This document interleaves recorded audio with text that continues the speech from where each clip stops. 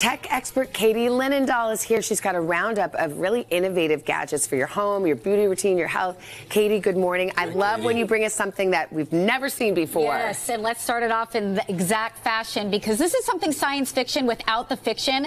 Starting up is Kara Pure Water, and it brings water out of pure air. And I'm going to show you how this works. This what is really mean? crazy stuff. You can get 10 liters of water out of here every single day. That's about 20 bottles of water.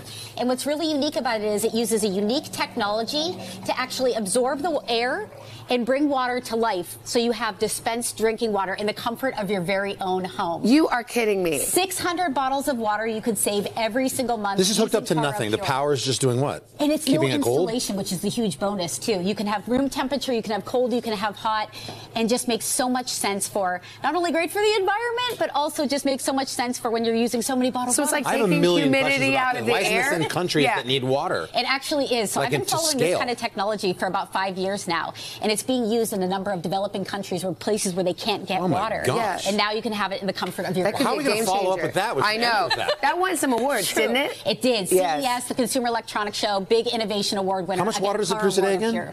10 liters. How per much is that?